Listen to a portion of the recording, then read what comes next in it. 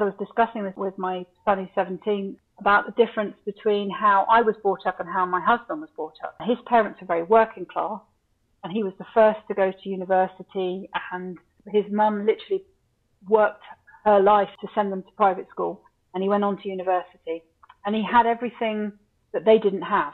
But then at university, he, just like all those other, other well brought up university kids, drunk far too much alcohol mm. and buggered his liver. And he's not an alcoholic or anything like that, but he has damaged his liver, which went on to have other problems. Mm-hmm. And I think his his his relationship to danger, he considers himself to be a very safe, responsible person, but clearly not when it came to university. Whereas right, right. for me, I didn't have that. My my dad said my both my parents were teachers, and they both were like, "We're not qualified to tell you what to do with your life. We know what you're like." A bit like my son.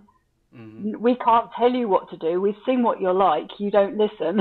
We're right. going to have to just let you do what you do. You do you, and we'll see right, what happens. So I didn't go through all of that, but as a result, in a sense, I had a more, in a sense, I've come out healthier in the long run mm.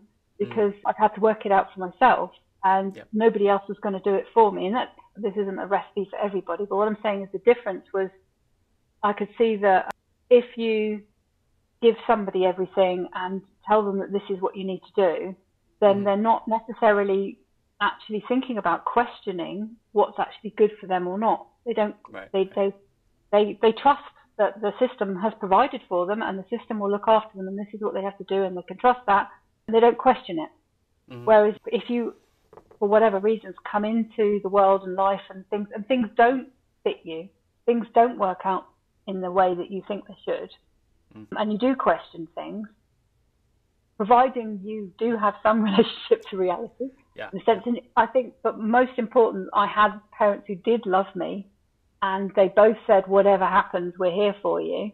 And even though they couldn't necessarily provide much more than that, in a sense that because there was this, there was a loving, "You are okay. We love you the way you are. You are who you are." You have that's in a sense I think that's fundamentally more important to your mental well-being that it's not connected to whether you pass your test. I right. think that's another thing that I think a lot of my husband's anxiety was caused by him attaching. I don't think his parents did it on purpose or anything, but he had this. He was very bright and he was good at passing tests, and he got a lot of anxiety from not being good enough. Mm. And whereas I think inadvertently somehow my parents managed to say you're good enough without anything. You don't need to do anything to be good. You're right, okay right. as you are. This is the Agentic Schools podcast, where you will learn about schools from around the world where children's agency to make decisions about their learning and living is more important than their academic skills. I'm your host, Don Berg.